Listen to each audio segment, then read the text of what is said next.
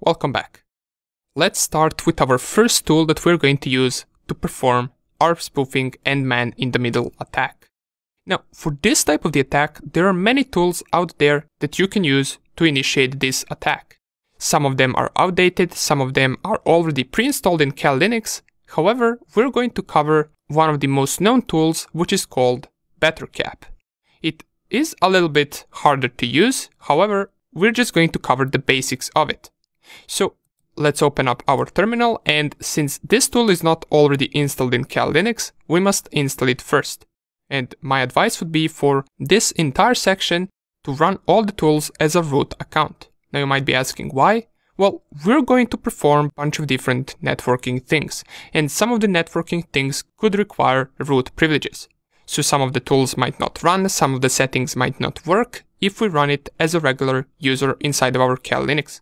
So let's real quick enter the root terminal. And to install our BetterCap tool, we can simply type the command apt-get install and then BetterCap. Press enter press Y once it asks you do you want to continue and now we're going to wait for the BetterCap installation to finish and then we're going to enter its framework and perform MITM attack. Okay, it has finished. Now, there are two ways that we can run this attack. We can run it as a command by specifying a file that contains all of the BetterCap commands that we want to run, or we can run it inside of the framework. Now for the first try, we're going to just type bettercap to open the framework and we're going to experiment with different commands in order to run this attack. And then after this, we're going to see how we can run it just from a terminal in a one line command. Okay, so once you type bettercap inside of your terminal, it will open the bettercap program, it will tell you which version it is, and it will also tell us to type help for a list of the commands. So let's type help to see what options do we have. And right here, we're going to see a bunch of available services that we can run with BetterCap. Most of these services are not going to run, as it says right here, not running. And the only one that you will see running is events.stream. Now, you might already start to notice something interesting for us, such as, for example, this ARP spoof. We talked about ARP spoof in the previous video, and we know that this is the base of our man-in-the-middle attack. However, before we get to it, let's go a little bit up and check out the help menu. So these are the commands that we can use with BetterCap. We can type help and then some module name in order to print out more information about that specific module. We can also active, quit, sleep for a certain amount of seconds. We can set value the same way that we do inside of our MSF console. If you remember, once we set values for certain payloads, we do that using this command. So we can assume that this is something similar as an MSF console, or at least it has similar options and commands. Now let's go down to these modules. And before we actually get to this ARP spoof module, let us take a look at this net probe module. If I simply just type help and then net.probe, this will give me the help menu and the description of this module. So as it says, it will keep probing for new hosts on the network by sending UDP packets to every possible IP on the subnet. In other words, what this module will do is it will discover all of the online hosts inside of our local area network. So what we can do is we can turn that on to start network host probing in background. Let's run this command as it tells us right here. Copy this, paste it right here and let's press enter. And we can already see that it managed to discover some of the hosts inside of my network. These are the active IP addresses, right here. The next thing that we want to do is we want to type the help menu for the arp.spoof module. So just type help arp.spoof and press enter. And we also get the option as to how we can run this module. But down here we can see some additional options or as it says right here, parameters for this module. We got arp.spoof.full duplex, we got arp.spoof.internal, arp.spoof.targets, and arp.spoof.whitelist. In this specific scenario, we're interested in these two, so the full duplex and the targets.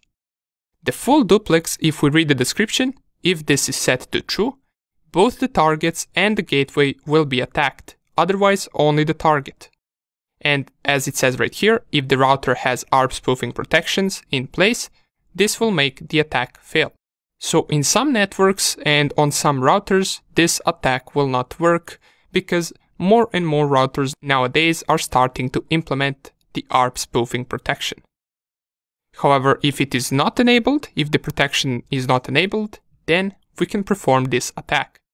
So what we must do is we can type set arp.spoof.full duplex to be equal to true or just set it to true. Press enter right here. And we also want to set the targets.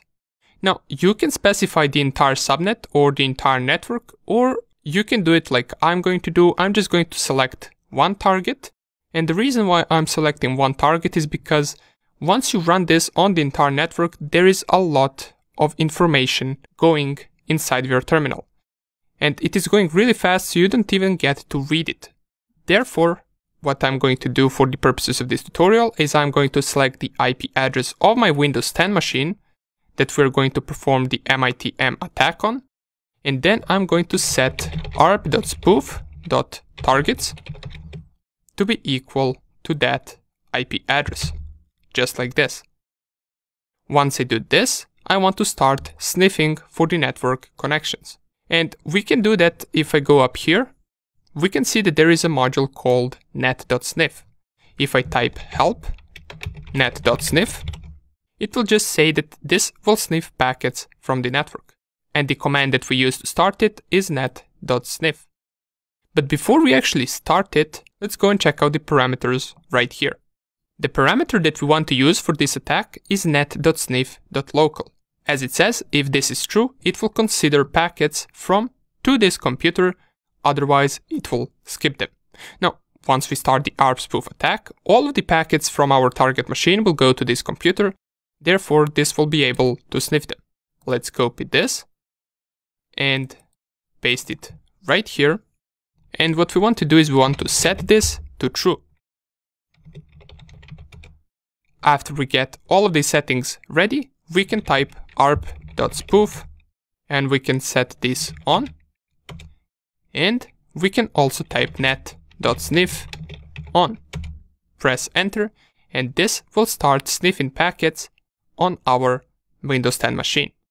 We can also see some of the queries that our Windows machine is making.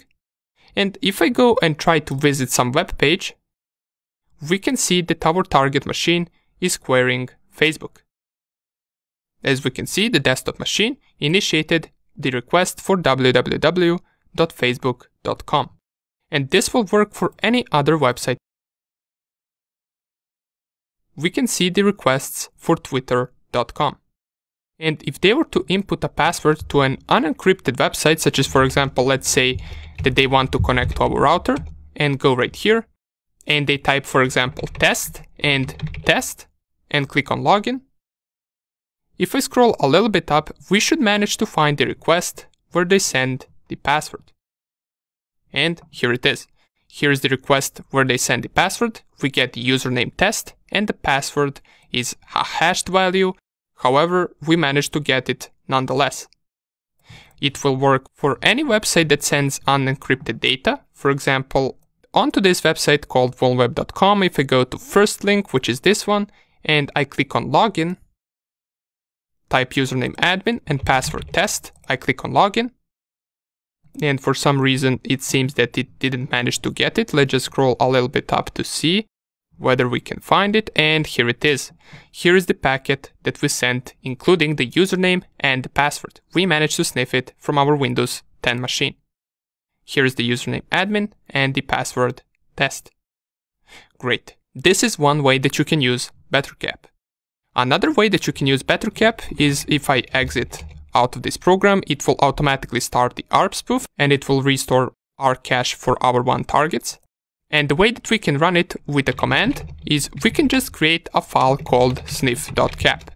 And inside of this file, we can type the commands that we typed previously, which is net.probe on. We also want to select arp.spoof.fullduplex to true in order to also spoof the target and the router.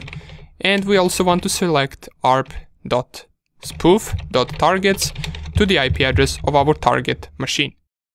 After that, we set the net.sniff.local to true, which means only sniff the packets that are coming from and to this machine. And then we type arp.spoof on and net.sniff on. These are all of the commands that we must run, so all we need to do is save this in a file called sniff.cap, and then we can run the command bettercap-iface, and iface stands for interface, where we need to specify the interface of our machine. Since on Kali Linux, the only active interface that I have is ETH0, once I specify that, all I need to specify is another option which is dash caplet and then the name of the file containing our commands. And this will do everything that we just did automatically. So if I press enter, it will set all of the settings that we did and it will start sniffing for different connections. For example, if I go right here and try to refresh Facebook, it will sniff that request to Facebook. And this is one way that we can perform man-in-the-middle attack. In the next video, we're going to check out another tool that will allow us to perform this attack that you might actually find a little bit easier to use. So thank you for watching and I will see you in the next video.